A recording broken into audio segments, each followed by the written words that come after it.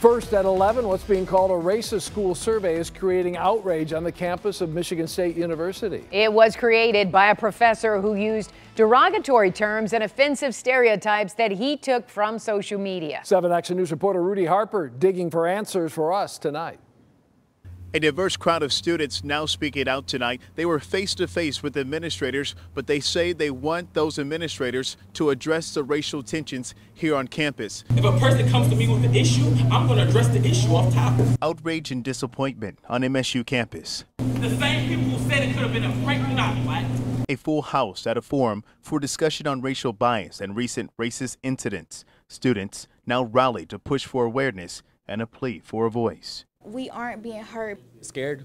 Um, there's multiple incidents that have happened just in one week. Some of the controversy stems from a survey on an MSU website that included racist and offensive statements targeting black people, the LGBTQ community, Muslims, and Asians. A select group of students asked to rate the questions from not at all negative to extremely negative.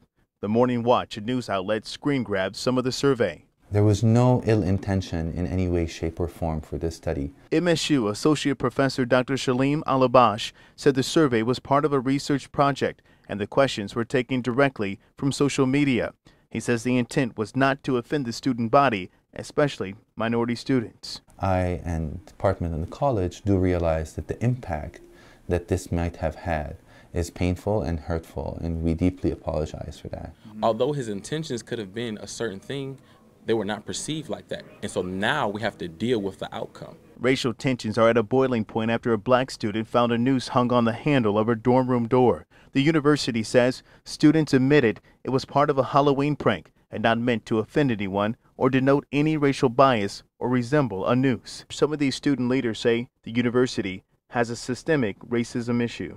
We will no longer stand for this. MSU's president releasing a statement to the Spartan community saying in part that he's concerned and his top priority is inclusion and a respectful campus. The Black Student Alliance will meet with him tomorrow. In East Lansing, I'm Rudy Harper, 7 Action News. All right, thank you so much, Rudy.